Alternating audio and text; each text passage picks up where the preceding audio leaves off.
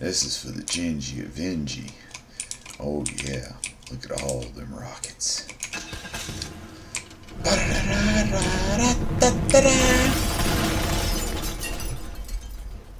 And now,